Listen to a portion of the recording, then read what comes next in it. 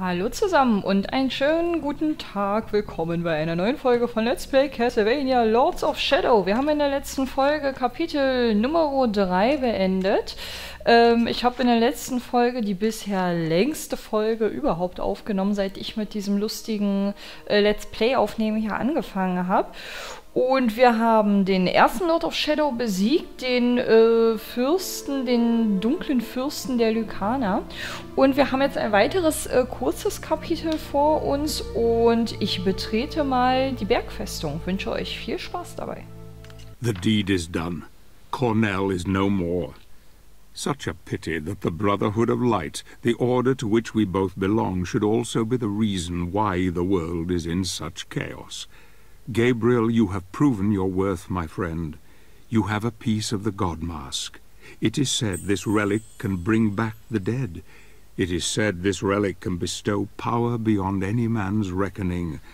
Now, with the help of the old god, he heads toward the land of the vampires and further into the heart of darkness. Uh, wir erinnern uns zurück im Land der Vampire. Ähm wollte Sobek eigentlich auf uns warten. Unser Freund aus dem Ende des ersten Kapitels. Vielleicht treffen wir ihn ja hier, wer weiß. Where are we? What is this place? The Crow's Pass. The land of the vampires lies beyond those hills. A powerful witch protects this domain. I can go no further. Who are you? And why do you help me? You may think I am helping you, but you would be wrong. I serve no one. You would do well to remember that.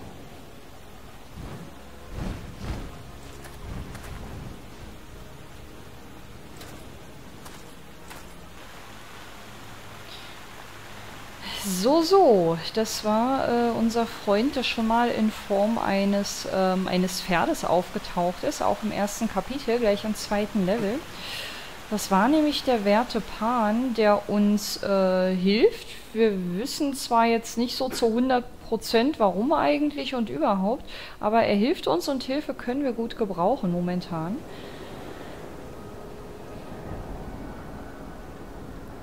Ah ja, eine sehr, sehr hübsche Burgfestung.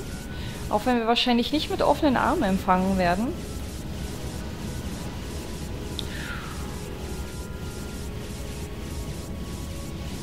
So, und ich muss auch hier nochmal sagen, also nach dem letzten Bosskampf, ähm, also ich werfe definitiv zu schnell die Flinte ins Korn, ja. Das äh, ärgert mich so rückblickend betrachtet ein bisschen. Wir haben hier eine Leiche und äh, endlich fängt unsere Steinchensuche wieder an, auch wenn wir das Ganze jetzt mit einer Schriftrolle beginnen. Hier lauern böse Mächte, heimtückische Mächte, welche den Menschen den Mut rauben. Wie es scheint, verbirgt sich ein Oger in dieser Burg. Es ist kaum zu glauben, dass Kindermärchen sich als wahr herausstellen können. Ich weiß noch, wie mein Vater mir Geschichten über diese Kreaturen vorgelesen hat, als ich noch ein Junge war.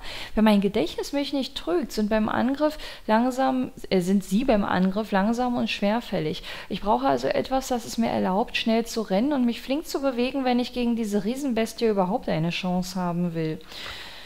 Wenn das mal kein Wink mit dem Zaunpfahl war, wir haben nämlich unsere tolle, unsere tollen Stiefel nach dem letzten Bosskampf bekommen. Hui, mit der sind wir super schnell unterwegs. Muss ich mir mal merken. Aktiviere die Schattenmagie und halte dann LT gedrückt, ist hier aufgeladen, dann drücke den linken Stick in die gewünschte Richtung, um Hindernisse zu durchbrechen. Ja, ich muss das immer ein bisschen gehetzt vorlesen. Äh, schalte die Schattenmagie an und halte LT gedrückt weil äh, diese Texte da oben gerne mal dazu neigen, einfach so zu verschwinden. Äh. Ah ja. Coole Sache. Ach, seht ihr diesen wunderhübschen Lichteinfall? Ich glaube, ich habe es schon zigmal erwähnt, aber ich liebe diese Grafik in dem Spiel. Und weißt ihr, was die noch schöner machen würde, wenn man einfach diese verflixte Kamera mal drehen könnte? Oh, und da ist noch eine Leiche Steinchen. Yay, wir haben ein neues Gesundheitssteinchen. Jetzt brauchen wir nur noch eins. Und dann sind wir wieder mit einer längeren Gesundheitsleiste unterwegs. So, das kann von mir aus ja alles so schön ruhig bleiben in dem Level. Wenn ihr nämlich wüsstet, wie spät es bei mir ist und wie mein bisheriger Tag verlaufen ist, dann, dann wäre das auch vielleicht ein bisschen nachvollziehbar. Ich kann es ja mal kurz umreißen. Ich hatte heute Frühschicht. Mein Wecker hat um halb vier geklingelt. Bin nach Hause gekommen, habe erstmal geschlafen und es ist jetzt irgendwie zwischen eins und zwei und ich muss äh, bald mich wieder auf den Weg zur Arbeit machen. Ist das nicht toll? Sind das nicht super klasse Aussichten? Kann mir nichts Schöneres vorstellen, deswegen bin ich jetzt vielleicht ein bisschen bedrüppelt. Aber ich habe eine Red Bull-Dose neben mir zu stehen, die ist zur Hälfte schon vernichtet. Und äh, ja, ich habe, glaube ich, ähm, immerhin ein bisschen mehr Schlaf als sonst, wenn ich Let's Plays aufnehme. Und mir geht es gerade gut, auch wenn ich noch ein bisschen verpennt bin. Aber die Gegner werden mich hier schon wachrütteln. Das ist alles gut. Ich bin da sehr, sehr zuversichtlich. Und ich bin froh, dass ich jetzt meine Aufnahmesession nicht mit einem Bosskampf starten muss. Tippe zweimal schnell den linken Stick an, um zu sprinten und drücke dann Sprung, um auf die andere Seite zu gelangen. Hui, cool. Also die Stiefel finde ich toll, aber ich warte immer noch, also einfach, weil ich das so aus anderen Spielen gewohnt bin und hier auch tierisch vermisse.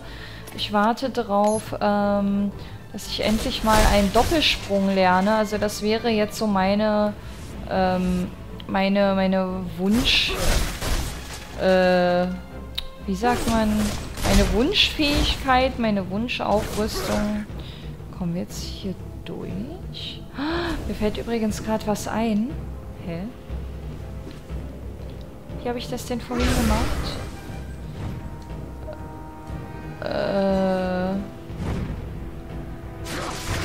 Ah ja. Okay. Und wisst ihr was? Äh, wir hatten irgendwo, äh, ich glaube, das war im zweiten Kapitel auch so eine bröcklige Mauer, die wir damit dann auch einreißen können. Aber ich weiß nicht mehr, in welchem Level das war. Wuhu! Also wenn das so weitergeht, dann werden wir innerhalb kürzester Zeit lauter äh, Leisten-Upgrades bekommen. Das ist sehr, sehr genial. Und wir haben bisher, glaube ich, in diesem Level auch nichts ausgelassen. Kann er sich hier oben festhalten? Ja, das kann er. Ja, und in der ersten Schriftrolle war die Rede von einem riesigen Oger. Und da stellt sich jetzt natürlich die Frage, ist das der Boss des Kapitels? Werden wir in diesem Kapitel den nächsten Schattenfürsten über den Weg laufen? Oder ist das ein Zwischenboss, den wir jetzt hier im Level ähm, über den Weg laufen? Ich muss mal ganz kurz zurücklaufen, weil irgendwie... Irgendwie war mir so, als ob hier irgendwo noch eine Leiche gewesen wäre. Kann natürlich sein, dass ich das jetzt total durcheinander bringe. Ich will hier mal nochmal genauer gucken. Ja. Ich habe es mir noch äh, in Erinnerung behalten und wisst ihr warum? Weil ich, als ich das Spiel zum ersten Mal gezockt habe und ähm, mir dann am Ende mal angeguckt habe, wo ich Steinchen ausgelassen habe, ähm, oh, jetzt habe ich gespoilert, ne? Ja, da ist dieses, diese Leiche ja eine von den wenigen gewesen, die ich ausgelassen habe. Deswegen dachte ich mir so, hä, an das Level konntest du dich doch eigentlich ganz gut erinnern und ja, und das ist ja ein bisschen, ähm, ein bisschen tricky versteckt. Nur, dass ihr Bescheid wisst. So, wir haben also jetzt für Gesundheit, für Lichtmagie und für Schattenmagie vier von fünf. Sehr, sehr hübsch. Das heißt, jedes Steinchen, was wir jetzt bekommen, ist automatisch nein, mit einem Upgrade verbunden. Und ich war zu faul, um zu rennen. Ja, die, Kam Ach, die Kamera schon wieder. Okay, dann nehme ich jetzt halt von hier Anlauf. Und ja, das war knapp, aber es hat gereicht. Und wir haben schon wieder eine Leiche. Wird bestimmt eine Schriftrolle drin sein. Oder? Hätte mich auch gewundert, so kurz innerhalb äh, von so kurz innerhalb kurzer Zeit, viele Steinchen, das wäre ein bisschen übertrieben gewesen. Es ist, wie wir befürchtet hatten. Die Festung wurde von feindlichen Streitkräften überrannt. Eine schreckliche vogelähnliche Kreatur hat sich im Turm eingenistet und ein riesiges Monster patrouilliert durch die alten Mauern. Ich habe nichts von den anderen Rittern gehört, also muss ich vom Schlimmsten ausgehen. Ich werde versuchen, zur Bruderschaft zurückzukehren, um sie zu informieren, dass dieser Pass von unseren Gegnern gehalten wird wird. Ja, ja. Bisher hatten wir, glaube ich, nur äh, Schriftrollen, die uns das Leid ähm, der ursprünglich Lebenden hier nahegelegt haben, außer eine. Und das war in dem Level, wo wir die Feen erstmalig bekommen haben, wo der Typ gesagt hat, dass er jetzt wenigstens äh, von dann ziehen kann und vorher irgendwie äh, was Schönes im Leben gesehen hat oder so. Wie komme ich jetzt hier weiter? Ziehst du dich hier irgendwo hoch? Oder habe ich was übersehen? Oder ziehst du einfach... Achso. ja, Trottlichkeit lässt grüßen. Auf die Idee, da einfach mal rüber zu springen, bin ich jetzt gerade nicht gekommen. Ja, und wir haben jetzt von zwei Gefahren, die von diesem Level ausgehen, gehört. Einmal von irgendwas, was uns im Turm erwartet. Und von irgendeinem großen Wächter, der hier so auf Patrouille gehen soll. Ui, wenn man vom Teufel spricht, das wird er doch nicht etwa sein. Oh, oh. Okay, der scheint böse zu sein mit uns. So, das einzig Gute, was jetzt der letzte Bosskampf vielleicht so mit sich gebracht hat, ist, dass jetzt also wirklich alle Kämpfe erstmal für eine Weile total simpel für mich sein werden. Ich setze mal zum ersten Mal eine Fee ein. Gegen die kleinen Gegner sind die wirklich, äh, äh, wirklich sehr, sehr sinnvoll, weil wie wir gerade gesehen haben, guck, guck, ich mach's nochmal. Nee, wartet, falsche Taste. So, jetzt? Nein. Hä? Warum nimmt er denn keine Fee? Hä? Okay, der Gegner ist eh weg. So, was passiert jetzt? So, also der Typ, der da hinter diesen, oh, Mauerwänden steht, der ist echt sehr, sehr, sehr, sehr groß. Ja. Irgendwie... Ah, nein, nein, nein, nein. Ich hab's irgendwie befürchtet. Ja, der ist sehr, sehr, sehr, sehr groß. Ich gehe mal einfach davon aus, dass das der Wächter ist, von dem... Ah, hier vorhin die Rede war. Oh, nein, nein, nein, lass mich los, lass mich los, lass mich los. Oh, oh. Ih, hat voll die hässlichen Nägel. Deine Nägel sind schmutzig. Geh dir deine Hände waschen, du. Nein, aua. Hab nichts gesagt. Ich habe nichts gesagt. Ah, da oben rechts sehe ich gerade. Nein, nein, nein, nein, nein. Dass der auch eine Energieleiste hat. Ich weiß nicht, ob die jetzt ganz für ihn zählt. Wahrscheinlich jetzt nur für die Hand. So ein dicker Wächter wird ja wohl nicht davon, ähm, davon sterben, dass wir ihm ein paar Mal auf die Hand hauen mit unserer Peitsche. Okay, Frage beantwortet. Hallo, du hast aber eine ganz schön dicke Wampe und genauso eklige Zähne, wie deine Nägel auch eklig sind. So, was gibt's über dich zu erzählen? Größe riesig, Schwierigkeit hoch, na wie schön. Äh, die anubischen Giganten sind eine uralte Rasse, so alt wie die Erde selbst. Dieser Oger hier ist einer der letzten seiner Art. Er lebt zwischen den Mauern dieser verlassenen Burgfestung und wartet darauf, dass sich Reisende dorthin verlaufen, damit er ihre Knochen mahlen und Brot daraus machen kann. Ach, wie freundlich. Doch dieser Oger hatte schon seit geraumer Zeit kein Menschenfleisch Fleisch, Fleisch mehr und musste sich mit vereinzelten Höhlentrollen begnügen.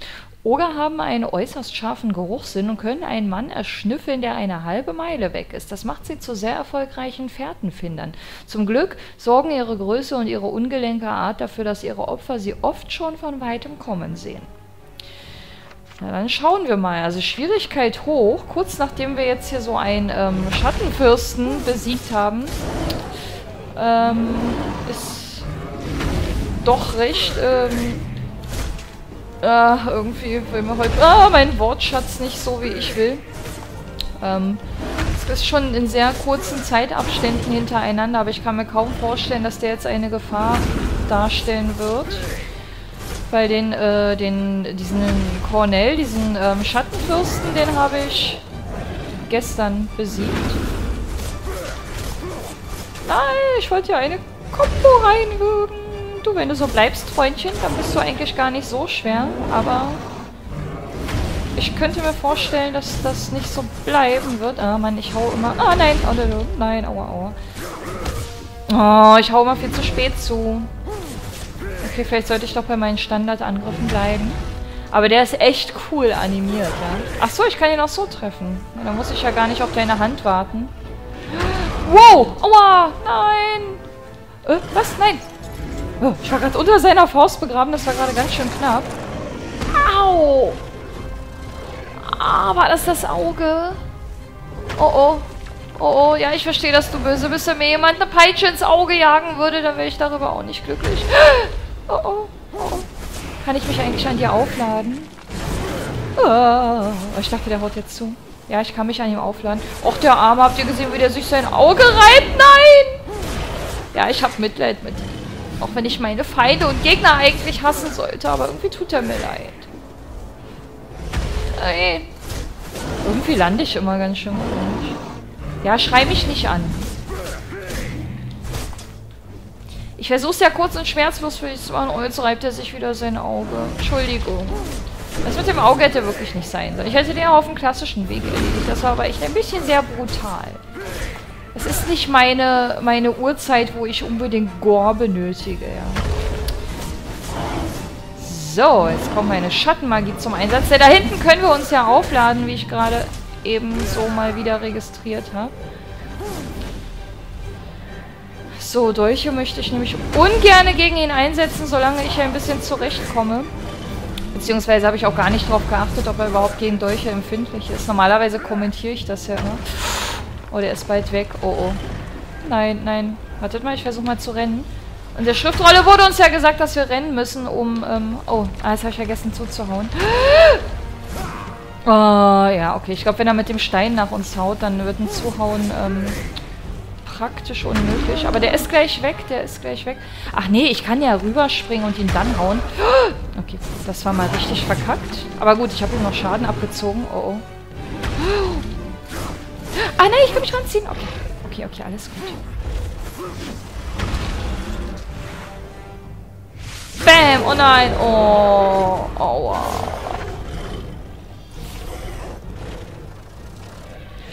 Oh, oh, jetzt hat er...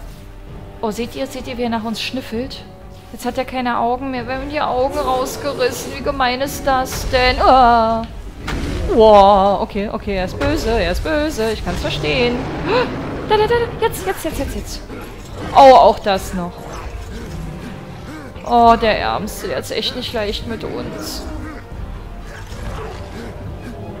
Aua. Oh. Oh, guck mal, wie schmerzverzerrt er guckt. Ich bin gerade echt ein bisschen zu mitleidig mit ihm. Aua. Oh, hoffentlich stirbt er und, und windet sich da unten nicht mehr in Schmerzen. Ich weiß auch nicht, woher meine Gutmütigkeit gerade kommt. Also wie gesagt, aufschlitzen wäre okay und so, aber Augen ausstechen und Zunge rausreißen und so, das muss nicht sein. Also ganz ehrlich, ich kenne durchaus Menschen, ähm, bei denen ich das gerne praktizieren würde, die es in meinen Augen auch durchaus verdient haben. Aber der Oger, der hat ja nur sein Revier verteidigt. Und der hatte auch nur Hunger. Ja. So viel dazu. Auch wenn ich mich jetzt wahrscheinlich zum Nappel der Nation mache. Aber mir hat er ein bisschen leid getan. Aber, wie gesagt, er war sehr, sehr geil inszeniert. Und wenn ich bedenke, dass manche Spiele ähm, nicht mal annähernd, oh, hier bin ich gerade nur zufällig reingefallen, nicht mal annähernd so, ähm, so geile Bosse haben, wie Castlevania hier Zwischenbosse anbietet, dann ähm, Respekt. Das unheimliche Gebrüll irgendeiner schrecklichen Kreatur halte an diesem Ort wieder. Sogar die Trolle haben Angst. Ich erinnere mich, als Junge Geschichten gehört zu haben, denen zufolge hier eine Hexe lebt. O Jesus, errette uns von diesem Bösen. Ich befürchte, dass die Bruderschaft bis zum letzten Mann ausgelöscht werden und wir äh, auswerden. Äh, ausgelöscht werden wird und dass die Welt von der Finsternis verschlungen wird. Was soll nur aus uns allen werden? Okay, mit dieser Kreatur wird jetzt, denke ich mal, nicht der Oger gemeint gewesen sein, den wir gerade eben niedergestreckt haben. Was ist das? Das sieht schon wieder so aus, als ob man da hinten irgendwie hin könnte. Oh ja, und das hat mich nicht getäuscht. Oh, das hätte man aber echt leicht übersehen können, weil diese komische Säule, die ich gerade da weggeboxt habe, die war in keinster Weise ähm, durch so ein Leuchten gekennzeichnet, wie jetzt diese Leiche hier zum Beispiel. Bäm! Wuhu! Lang ist's her. Aber endlich haben wir jetzt wieder ein, ein Magieleisten-Upgrade. Sehr, sehr schön. Das hätte uns äh, im letzten Bosskampf auch eine ganze Menge gebracht. Also ich meine gegen, äh, gegen Cornell und nicht gegen den Oger, den wir gerade eben hatten. Der war ja, wie gesagt, Pillepalle im Vergleich zu, zu dem Schattenfürsten. So, und ich habe wieder das Gefühl, als ob wir da noch nicht hinkommen. Das sah knapp aus, aber ich glaube, das geht trotzdem nicht, oder? Doch! Doch, wir haben es geschafft. Ab, ach so, oh, ich dachte, wir würden jetzt hier ein Upgrade bekommen, aber das ist ja nur so ein äh, Feen-Auffüllbehältnis, Behausungs-Dings, Maximierungsteil. Blibla, blub. Ja, keine Ahnung, wie ich das nenne. Sagen wir einfach Feenbehausung, um Feen aufzufüllen. Ich habe auch noch nie darauf geachtet, wie viel ich eigentlich maximal tragen kann. Fällt mir gerade so auf. Wir haben jetzt momentan vier. Ich glaube, wir können fünf an der Zahl tragen. Und dahinter befindet sich ein Upgrade. Aber hier müssen wir wieder unser Kampfkreuz aufrüsten. Wie schade. Das hätte ich doch gerne jetzt schon mitgenommen eh das Gefühl, dass wir uns momentan irgendwie überhaupt gar keine Upgrades leisten können, weil irgendwie für alles hier immer irgendwas benötigt wird, was wir noch brauchen. Naja, ich will mal nicht schmollen. Bin immer noch am überlegen, ob ich das nicht alles irgendwann ähm, einfach nochmal holen gehe. Ach so, dahin geht's. Oh. Hallo, ihr kleinen Gegnerchens. Ich fand ja euren großen Ogerkumpelwächter total cool, ja. Oh, ihr seid aber viele. Oh, also diese Flächenangriffe, die sehen zwar cool aus, aber die machen irgendwie kaum Schaden. Deswegen nehme ich die auch nicht so gerne. Durch, durch, durch, durch, durch. Oh, sogar mehrere. Sehr schön. Aua. Hier unter mir ist wieder irgend so ein komisches Gully-förmiges Gebilde. Ich mutmaße ja immer, dass da irgendwie irgendwas rausbrechen wird. So, wir haben... Ah, wir haben unser Maximum an Feen erreicht. Wir können gerade mal vier tragen, aber die kann ich ja dann wenigstens mal anwenden. Guckt mal hier und guckt mal da. Und schon seid ihr betäubt. wie er vor sich hin böst. So, kaum löse ich hier meine tolle Direkt-Kombo aus. Oder Direkt-Heftig-Kombo oder wie die heißt. Da stirbt er schon vorher. Also diese Gegner halten wirklich nicht viel aus. Oh, jetzt habe ich euch nicht gezeigt, wie er da durchgebrochen ist. Aber mir war... Also das war sehr auffällig aufgebaut hier in diesem Areal. Wenn wir so eine große Fläche hier haben und in der Mitte ist sowas... Ein Oh, der hat was in der Hand. Oh, der hat was in der Hand. Ich glaube, der will uns damit ganz, ganz, ganz, ganz böse wehtun. Uah. So. Ich hau jetzt mal alle Feen raus, die ich hier so habe. So, und wir haben Dolche. Guckt euch das an. Wir haben Dolche en masse. Wie steht er da gerade nur rum und haut uns nicht? Hahaha. Ich habe den Holzbalken kaputt gemacht. Nein, nein, nein. Boah, da hinten sind ganz viele Energiesphären. Die möchte ich bitte alle mitnehmen. Alle mitnehmen, aufsammeln. Einmal aufsammeln. Okay. Oh, oh, oh, oh. Nein, nein, nein, nein, nein, nein, nein. Und ich hau dich mit Schattenmagie und eigentlich dürftest du nicht mehr so viel vertragen. Der, da, da, da, er ist weg, er ist weg, er ist weg, er ist weg. Also fast weg. So, meine kleinen Freunde, das war's dann für euch, wenn ich mal irgendwelche sinnvollen Attacken jetzt hier zustande bringe. Aber ich glaube, ich konnte auch einfach über die rüberlaufen. Das geht sogar noch schneller. Platsch, plotsch, plitsch, platsch. Aber irgendwie tun die mir leid. Also wenn ich nicht gerade auf, auf diesen dicken äh, äh, Höhentroll hier reite, dann... Dann tun die mir nicht leid, aber so von oben herab, wenn ich so über die rüberlaufe und die total würdelos plätte, ja, dann ist das schon etwas schade. Okay. So, hören die jetzt auch mal auf. Hallo? Ja, wir laufen jetzt lustig im Kreis. Da ist, da ist ein Dolch. Ah, ich habe zehn Dolche schon drin. So, hört das jetzt auch mal auf. Irgendwie stelle ich mich gerade wieder an wie der letzte Vollhorst. So, war's das jetzt. Ich habe gerade wieder Angst, hier irgendeine Leiche auszulassen. Achso, na gut, die Fässer brauche ich nicht kaputt zu machen. Ich habe ja schon genug Dolche. Und diese Tür, die steht uns im Weg. Beziehungsweise stand sie uns im Weg. Ich habe dir gar nicht den Befehl gegeben, ihn zu töten. Na gut.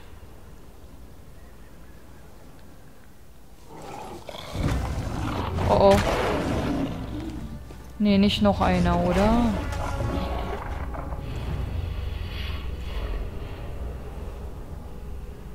Oh oh. Sein Blick sieht etwas beunruhigend aus.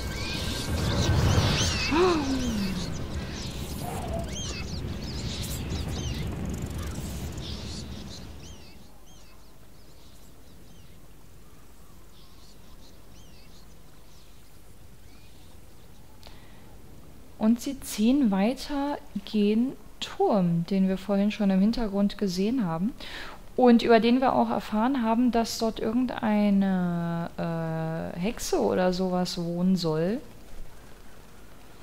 Ich wette mit euch, den werden wir im nächsten Level auch sehen. Hallo, wer bist du denn?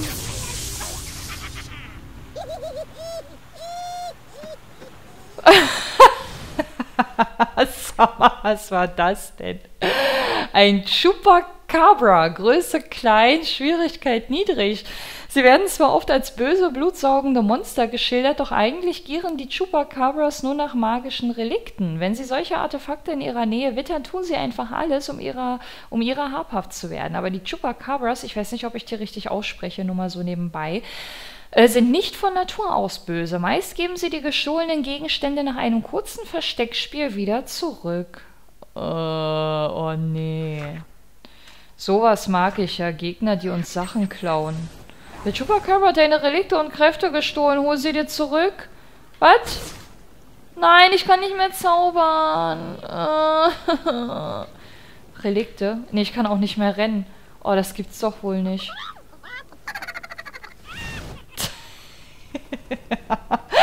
ich finde die trotzdem genial.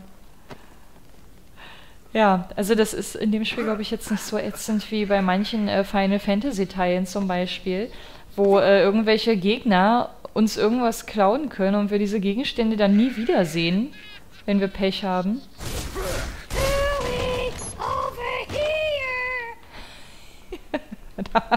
da, oben haben wir ihn gerade gesehen. Seht ihr ihn? Ich kann die Kamera leider wieder nicht darauf ausrichten. Aber irgendwie, irgendwie sind die niedlich.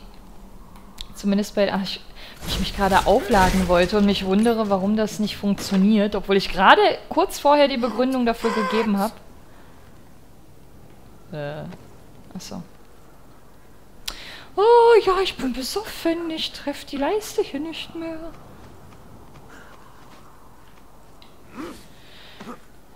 So, ich hoffe, dass wir ihn von hier oben aus erreichen, aber das war, glaube ich, der einzige Weg, den wir hier hatten.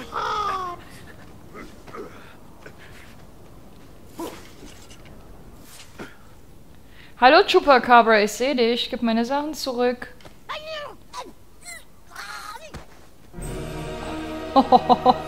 Wie brutal. Was haben wir mit ihm gemacht? Haben wir ihn erwürgt?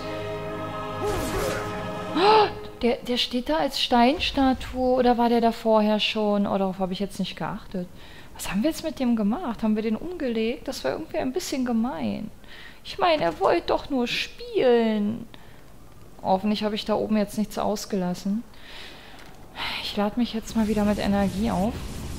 Nee, also das löst prinzipiell bei mir in allen Spielen immer so ein äh, so ein ganz, ähm, so ein ganz schlimmes Unwohle-Sein aus, wenn mir Sachen geklaut werden und ich im Vorfeld nicht weiß, äh, ob ich das äh, verhauen kann äh, und mir verderben kann und eventuell Gefahr laufe, diese Sachen nie wiederzusehen. Das weiß man ja, wenn man ein Spiel zum ersten Mal spielt, nicht. Und in dem Spiel gibt es aber so eine Situation, glaube ich nicht, dass das so unfair gemacht ist, dass man, wenn man sich nicht beeilt, seine Relikte nicht zurückbekommt. Das wäre auch ein bisschen unlogisch, wenn wir plötzlich nicht mehr zaubern könnten.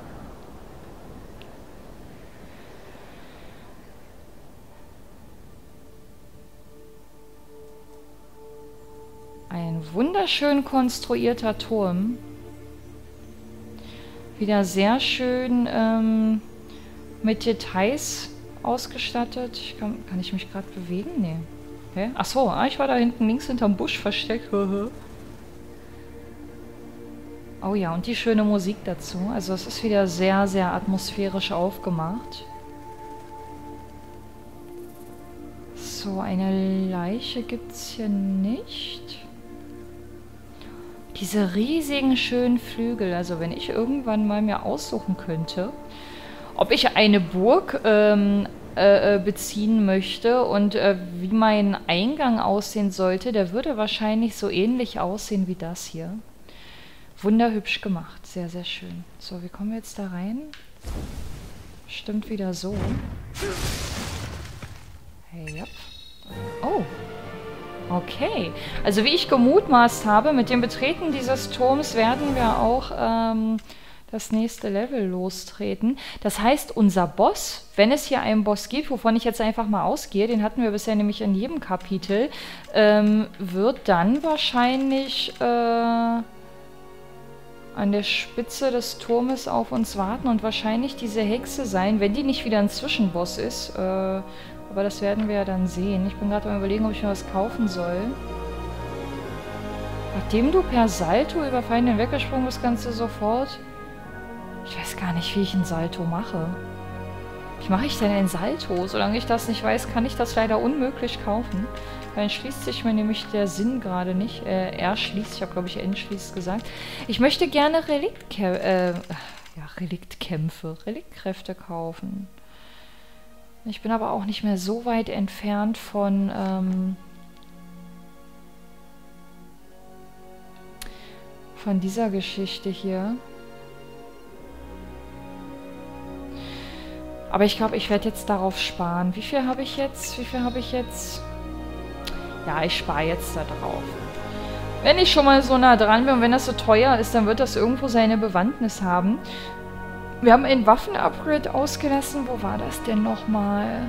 Ach ja, an diesem Teil, wo ich bedauert habe, dass wir da wieder unser, äh, unser Kreuz aufrüsten müssen. Und wir haben alle Steinchen gefunden und das war ein sehr gelungener Levelabschluss für uns. Und wie wird das nächste Level heißen? Die Krähenhexe. Okay, damit ist dann wahrscheinlich auch beantwortet, wer hier unser Boss sein wird.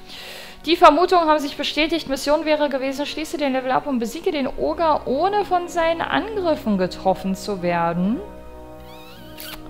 Das klingt nicht unbedingt nach einem Zuckerschlecken. Hm, könnte aber machbar sein. Egal. Ich freue mich auf die nächste Folge. Ich freue mich drauf, der Krähenhexe über den Weg zu laufen. Ich hoffe, dass sie mir nicht mal annähernd so viele Schwierigkeiten bereiten wird wie der Boss des letzten Kapitels. Ich danke euch fürs Zuschauen und sage bis zum nächsten Mal. Ciao.